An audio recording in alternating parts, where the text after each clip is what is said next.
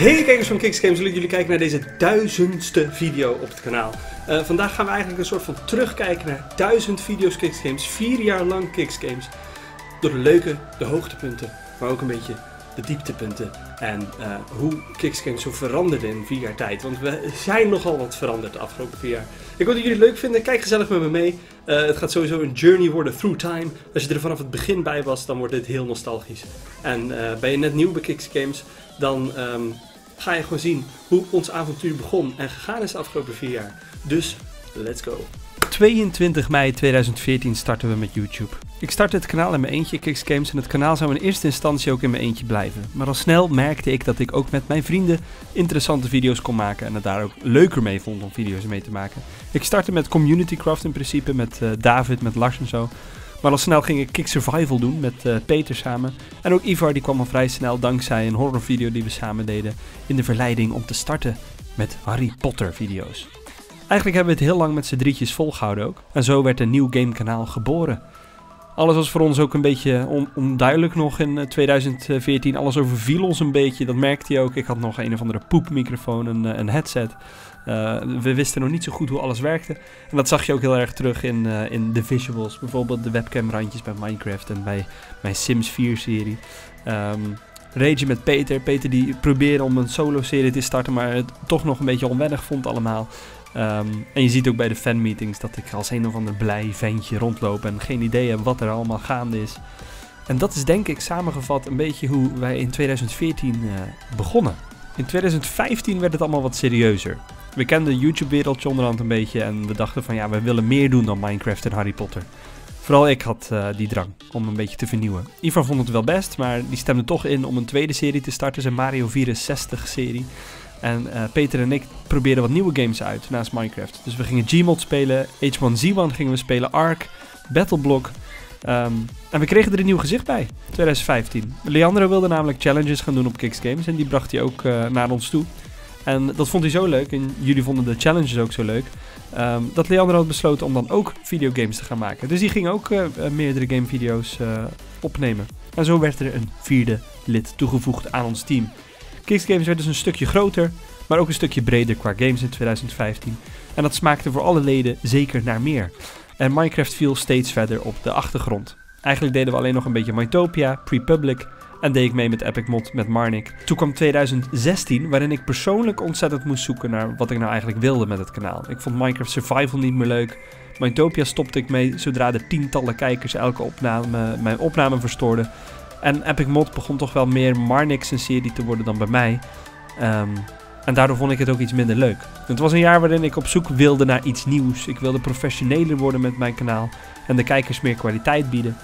Uh, dan elke dag maar Minecraft-video's blijven pompen. En ik ging dus op zoek naar andere content. Ik ging FIFA spelen.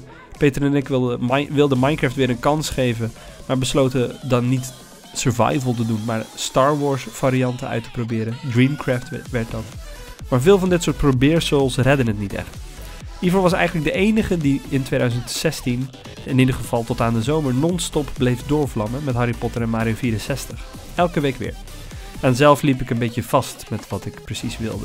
Leandro die ging weg en uh, Ivar, Peter en ik waren weer een drietal.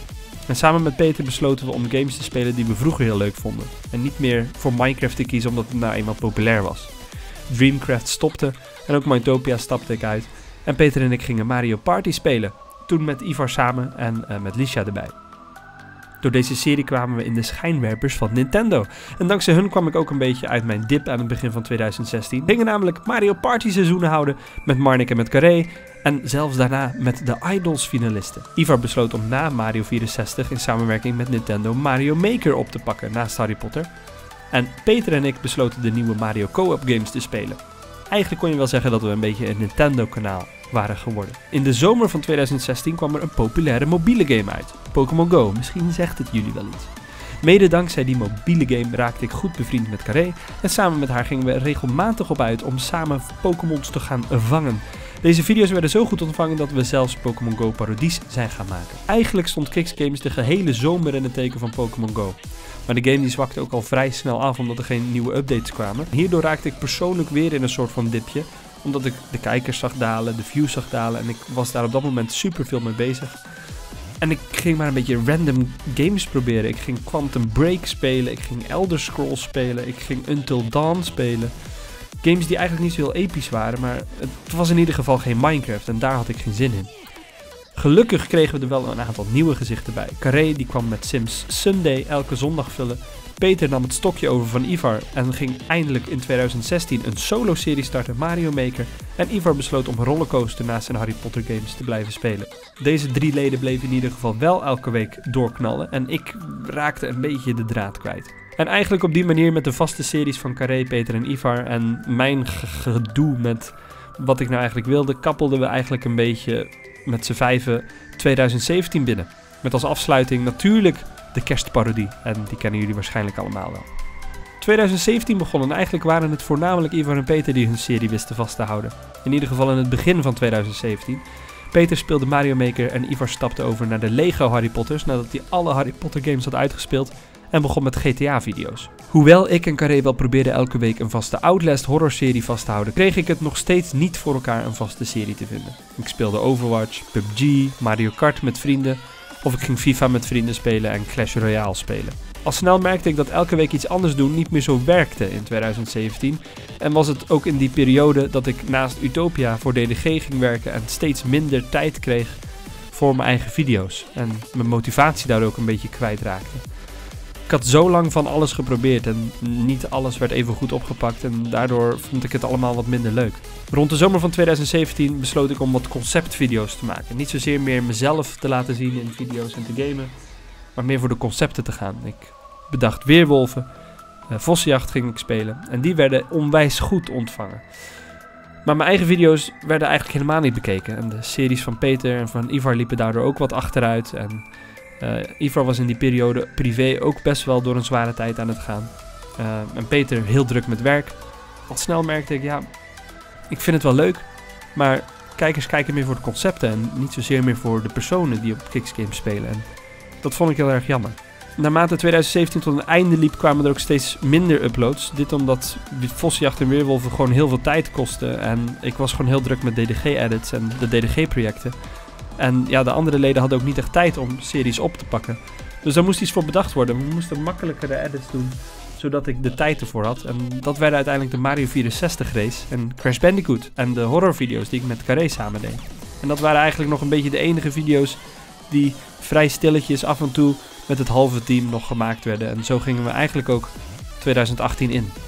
In 2018 veranderde hier ook weinig in. Karin en ik bleven Crash Bandicoot spelen. Ivar bleef Mario 64 met mij spelen.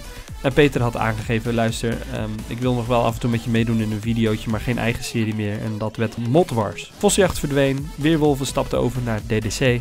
En al snel merkte ik begin 2018 dat ik met tegenzin mijn video's aan het editen was.